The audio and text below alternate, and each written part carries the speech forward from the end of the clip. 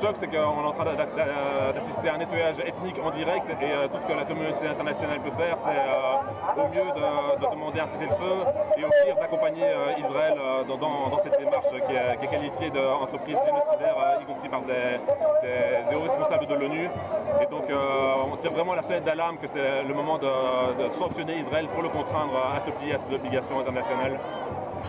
I think what is happening right now in Gaza is beyond devastating. And I think it's time for us to speak up about it because um, if we let this continue the way it is, there are going to be so many victims that shouldn't be victims right now. Uh, I want to demand a ceasefire. I want to stop uh,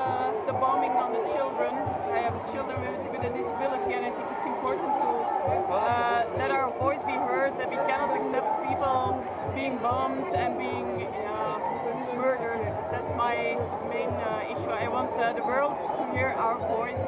Free Palestine! Free, Palestine! Free, Palestine! Free Palestine!